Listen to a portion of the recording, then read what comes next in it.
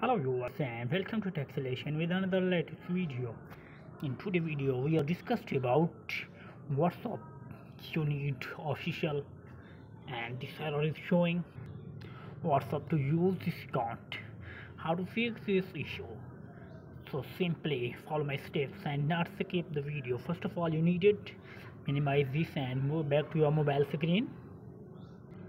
First method you need it open your Play Store and App Store. And in the search bar search WhatsApp. Check the update if any new update is available. Now updated your WhatsApp. Then move back. After updated your WhatsApp check your problem is fixed or not. If your problem is not fixed after updated your WhatsApp the next one type on long press on your WhatsApp. And now uninstall your WhatsApp and open Chrome browser. And then in search bar search.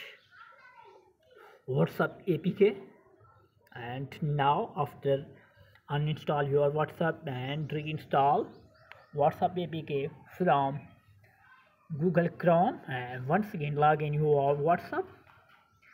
100% sure and your problem will be fixed when you reinstall.